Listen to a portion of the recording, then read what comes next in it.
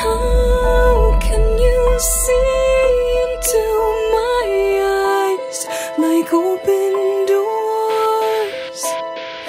Leave